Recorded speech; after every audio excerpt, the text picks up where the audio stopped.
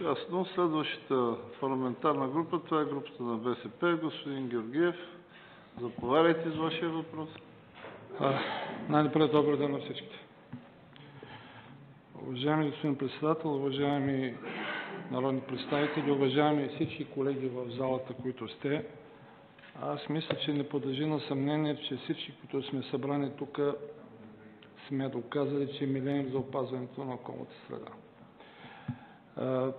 Убеден съм, че в лицето на новото ръководство на Министерството там също са събрани такива хора. И е редно, както спомена господин Чекъров, тук да не се разделяме по партийна линия, да мислим само за опазването на околната среда. А, ние, госпожа Симеонова, през последните дни сме на режим на работа повече от 12 часа.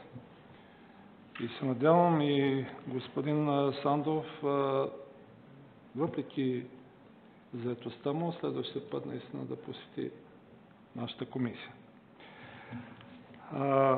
По силата на обстоятелствата аз бях запознат с, би казал, неразбори в оперативна програма Околна среда до сега. И сигурно няма да ни стигне един час да говорим. Но все сърце ви желая успех. И в наше лице мисля, че намерите приятели. Моя въпрос. През март миналата година министър Емил Димитров изпрати сигнал на вниманието на главния прокурор госпожа Кьовеши за нарушение в оперативна програма Околна среда. А каква е реакцията от страна на Европейската комисия? Въобще има ли заведени наказателни процедури срещу България по отношение на пропуски в оперативна програма Околна среда?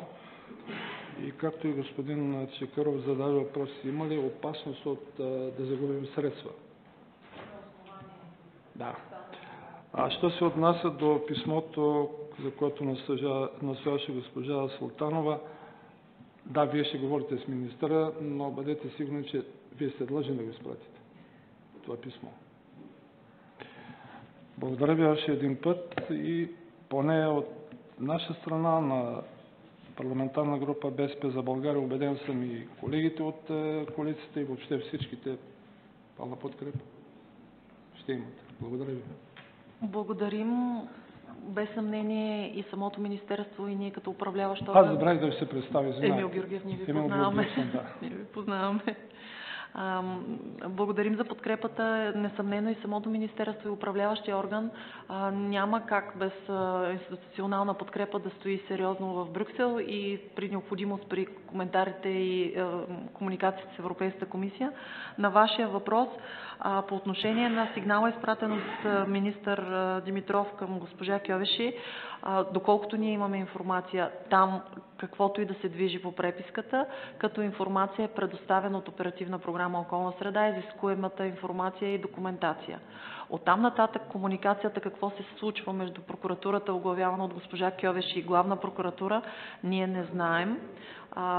Изисканите документи са представени както в рамките на миналата година, така и частично малко през тази изпратихме, но нямаме друга информация, която да касае дали е- нещо е изискуемо и дали има някакво финално ам, заключение от тяхна страна наистина за нередност.